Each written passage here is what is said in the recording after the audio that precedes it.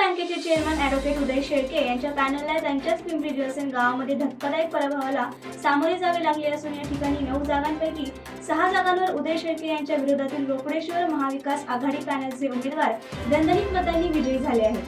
तर तीन जागांवरील उमेदवार अगदी एक दोन मताच्या फरकाने पराभूत झाले असल्याने उदय शेळके यांना त्यांच्या होम फीचर मतदारांनी नाकारल्याने त्यांच्या तालुक्यातील नेतृत्वावरच प्रश्नचिन्ह निर्माण झाले आहे. उदय शेळके यांच्या रोकडेश्वर ग्रामविकास पॅनलला अवघ्या तीस जागा मिळाल्या आहेत. अहमदनगर जिल्ह्यासह संपूर्ण महाराष्ट्रातील प्रत्येक घडामोडीची अपडेट पाहण्यासाठी मायभूमी न्यूज आवाज जनमनाचा या चॅनलला सबस्क्राईब करा आणि बेल आयकॉनवर क्लिक करा.